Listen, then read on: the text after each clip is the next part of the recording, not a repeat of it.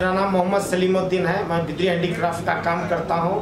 हम 600 साल से हमारे पूर्वज इस काम को करते आ रहे हैं। मैं उसी परंपरा को आगे लेके जा रहा हूँ, क्योंकि हम आर्टिज़न रहने की बुनियाद पर मार्केटिंग सेक्शन एक थोड़ा डिफरेंट है, क्योंकि जब क्लाइंट्स हमको नए नए डिज़ाइनिंग देते हैं तो थोड़ा डिज़ाइनिंग हमको समझ में नहीं आता।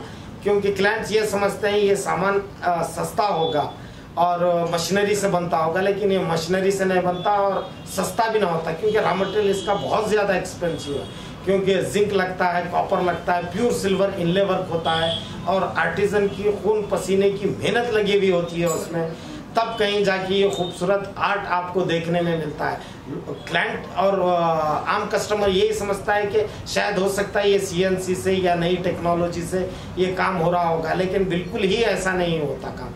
और उसकी स्पेशल वजह ये है कि जो ब्लैक कलर है, वो बिदर के फोर्ट की मिट्टी से ही ब्लैक होता है। इसलिए इसका नाम बिदरी हैंडीक्राफ्ट रखा गया है। और वर्ल्ड की किसी भी मिट्टी से ये कलर नहीं आएगा दो साल पहले लालटेन से मलिक जी, सर, हमारे पास इंडस्ट्री को आए थे, हमारे आर्टिजनों का काम देखा, हमारे इंडस्ट्री का सर्वे किया और सर्वे करके उन्होंने अपने मंच के ऊपर हमारे प्रोडक्ट की मार्केटिंग उन्होंने की और अपने डिज़ाइनरों को लाकर नए नए डिज़ाइन दिए जिससे हमको नए डिज़ाइन मिले।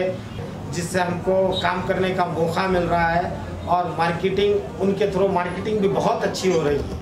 हमारी इंडस्ट्री बिद्री हैंडीक्राफ्ट जो है, पूरे वर्ल्ड वाइड है। वर्ल्ड में पूरे, दुनिया में इसको पहचाना जाता है। लेकिन बदकिस्मत ये है कि सरकार इसके पीछे तवज्जो नहीं ले रही।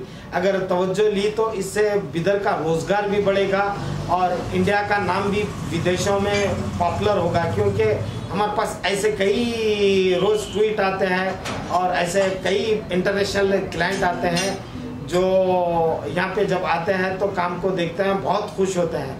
लेकिन इस का आर्टिजनों की जो तादाद है, दिन ब दिन घटते जा रही है। सरकार को सीरियसली इसके ऊपर सोचना चाहिए स्केल डेवलपमेंट या नए लोगों को इस क्राफ्ट से जोड़कर ट्रेनिंग देकर उनको ट्रेन करके ये क्राफ्ट को आगे बढ़ाने से हमारे भारत का भी फ़ायदा होगा और इंडस्ट्री का भी नाम होगा। बिदर शहर काफ़ी फ़ेमस भी है हिस्टोरिकल वर्ल्ड का बहुत माना हुआ प्लेस भी है।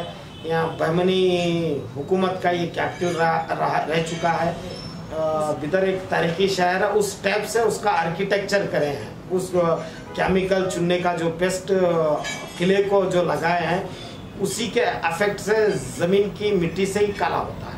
पितरिया आर्टिजनों की तादाद दिन ब दिन घटते जा रही है क्योंकि अब 120 या 110 तक उनकी तादाद रह चुकी है। हमारे इस काम को President of India A P J Abdul Kalam और काफ़ी फिल्मी सेलिब्रिटीज़ आते हैं, बिदर को जो भी सेलिब्रिटीज़ आते हैं, हमसे मिले बगैर नहीं जाते, क्योंकि हमको सहायता और सपोर्ट जो मिली है, वो हमको EXIM bank export import bank of India जो उनका हेड ऑफ़िस बॉम्बे में है।